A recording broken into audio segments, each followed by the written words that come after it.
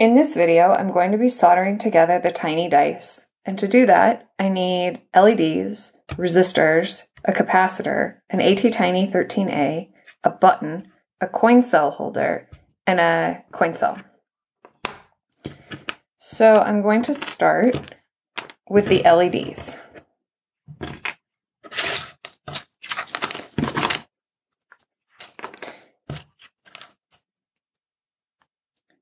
And I start with the LEDs by opening this up, which is sometimes a little difficult. And so I just slide my tweezers in between the plastic. Peel this open a little bit. Take my solder.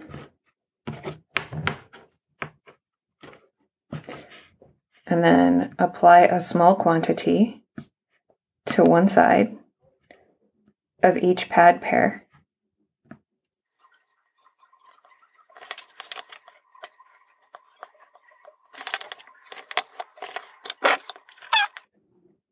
I check the LEDs. In this case, there's a small T on each one, and I make sure the T is pointing down.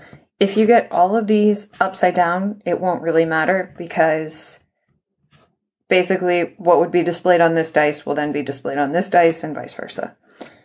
In the end, when you're playing a game, really doesn't matter. But it's designed so that they all go facing down. So then I hold the LED and I remelt the solder and I check that I have a good connection by trying to pick up the LED with the tweezers. So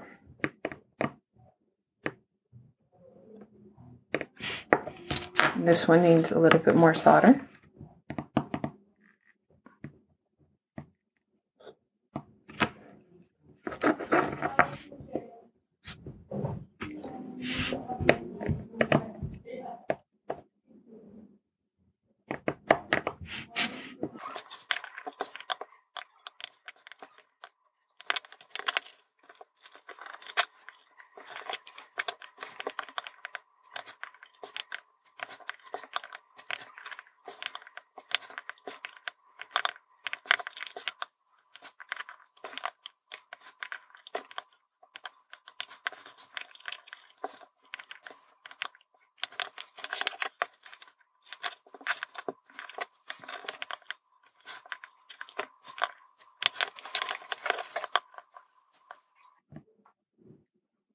So now I'm just soldering the other side of all the LEDs.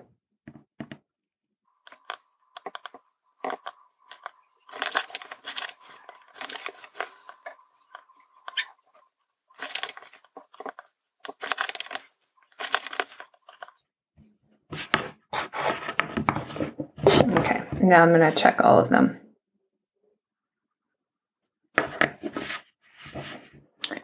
So this one is tombstoning a little bit, which I don't know if you can see it, but it's laying kind of like this on the board.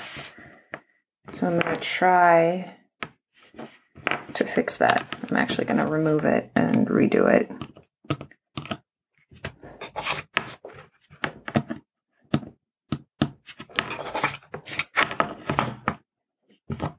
So then I'm going to try and remove as much solder from these pads as possible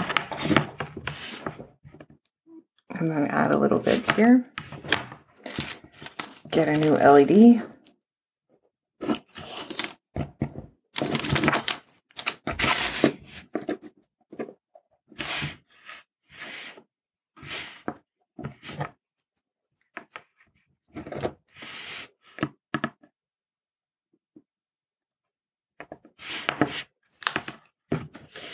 and then solder the other side.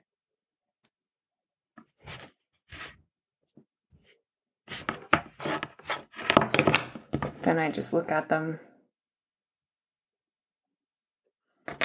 And these two are also sort of sticking up.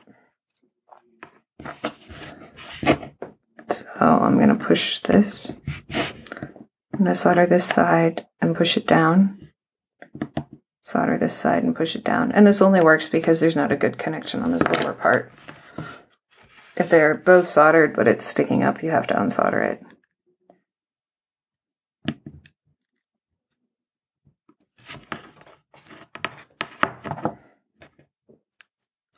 Okay, that seems like it'll work.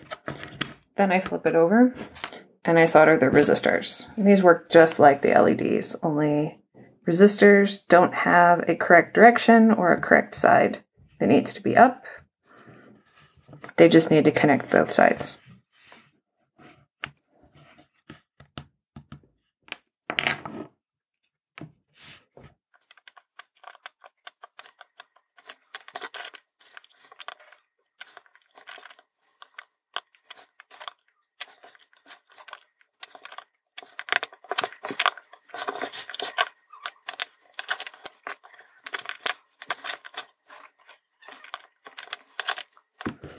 Then I just solder the other side.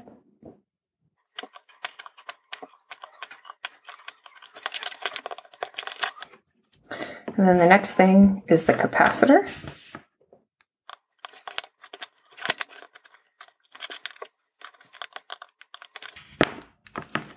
Then the other side of the capacitor.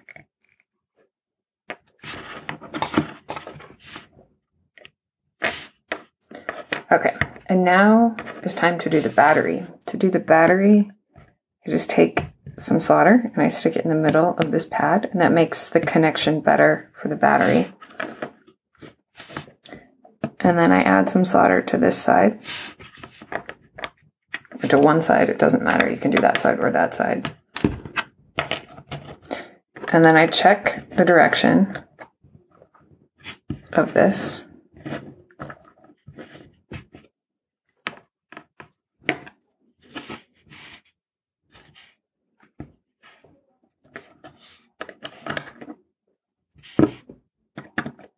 And it's important to use tweezers at this point because the metal on the battery holder gets very hot. So I carefully place this where it needs to go. And this is really the hardest part for me.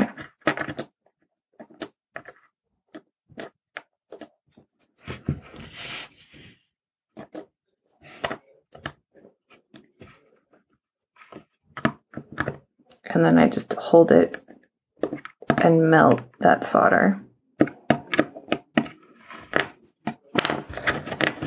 And then I check the other side to make sure that these metal pieces and this pad are connected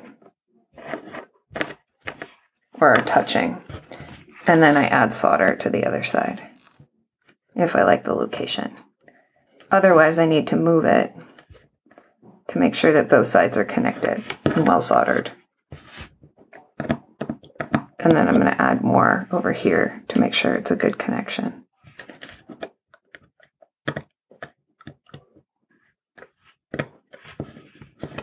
And again, this thing has a large thermal mass and there's also a large ground plane and a large, you know, basically large ground plane, large um, power plane. So it just takes a lot of energy, so it gets quite hot.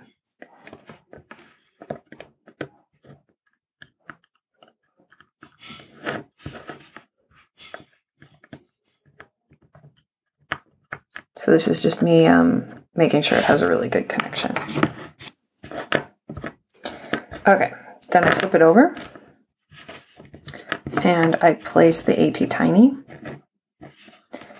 and you look very carefully at the ATtiny, there's a small notch on this side where the triangle is.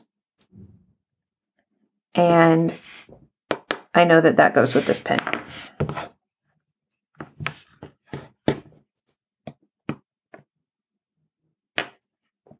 So I add a little bit of solder here.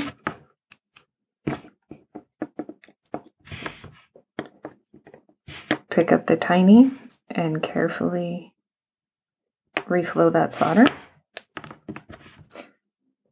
And then I check that all the pins are lining up with all of these metal spots, and they are.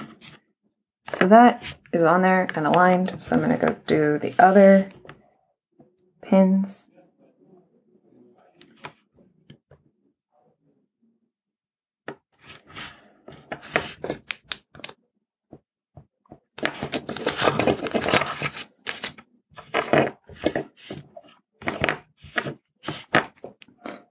Starting with the outer pin so that it's got a good connection.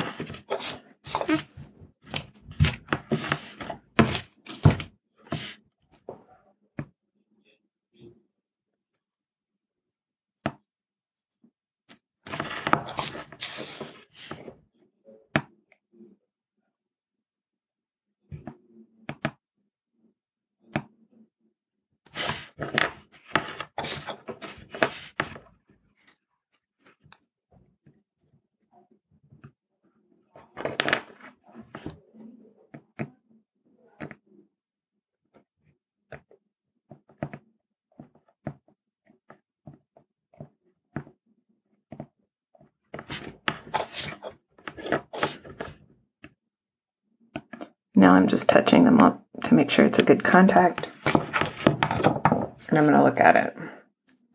And these two middle ones seem like they need more solder.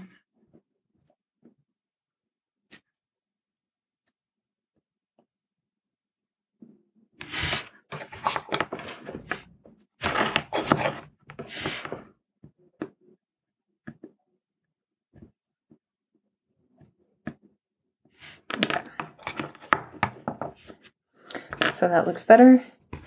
And now I add the button.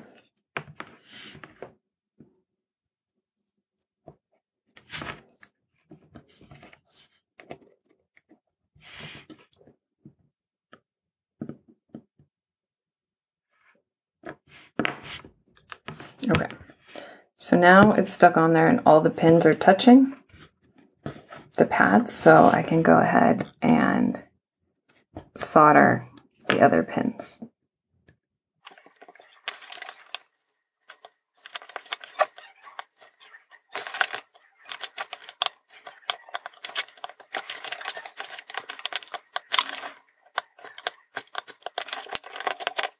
Okay, and now I'm just going to check that everything's soldered correctly.